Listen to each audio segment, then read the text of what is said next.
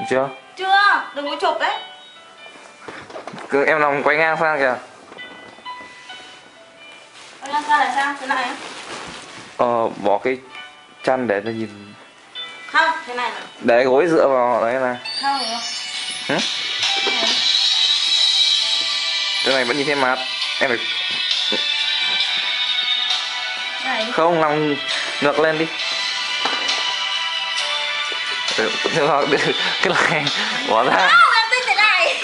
Xấu lắm nào. Từ đã. Đánh chỉnh ạ bỏ ra xấu lắm thật nó nhìn trông ra gì đâu. Em này. Đạp cái chân ra. Anh buồn cười em không thích thế đâu. Được rồi